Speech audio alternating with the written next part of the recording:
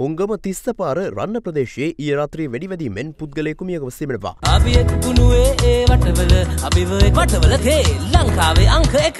මෙලෙස මියගෝ සත්තේ ප්‍රදේශයේ ගොන්නගිලි ද්‍රව්‍ය වෙළඳ සැලක හිමිකරුවෙකු වූ පනස් එක් හැවිරිදි ව්‍යාපාරිකයෙක්. කෙසේ වෙතත් අදාළ වැඩිවැදීම මනුෂ්‍ය ඝාතනයක්ද නැතිනම් සියදිවි නසා ගැනීමක්ද යන්න මෙතෙක් අනාවරණ වී නැහැ.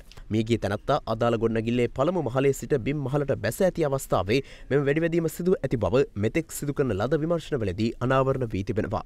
එය අනුව සිදුවීම සම්බන්ධයෙන් හුංගම පොලිසිය වැඩිදුර විමර්ශන සිදු කරනවා. කරන්න.